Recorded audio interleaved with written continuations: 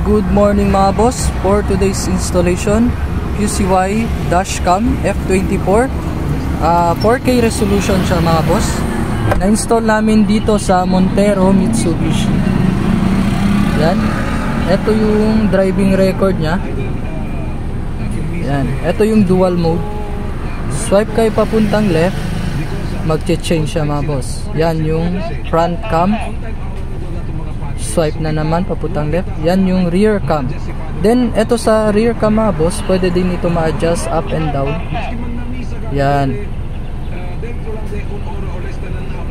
Pwede din sa front cam mga boss. Pwede din ma-adjust yan up and down. Bale, naka-setup na lahat mga boss sa settings.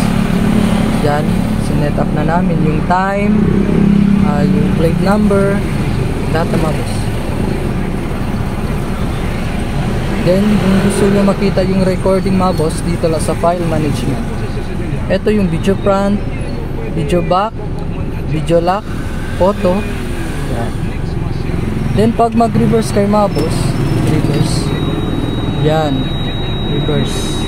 Automatic siya magti-trigger sa reverse camera. Park tayo mga boss.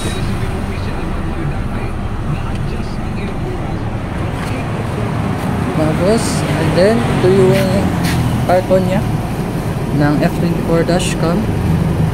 Ah, pinaka-latest na dashcam namin mga boss. 4K Ultra HD. QCY yung brand. Yung lang mga boss, visit our shop sa Andres Auto Accessories, Governor Ramos Street, Santa Maria. Fronting Sir Kyle Sagulis.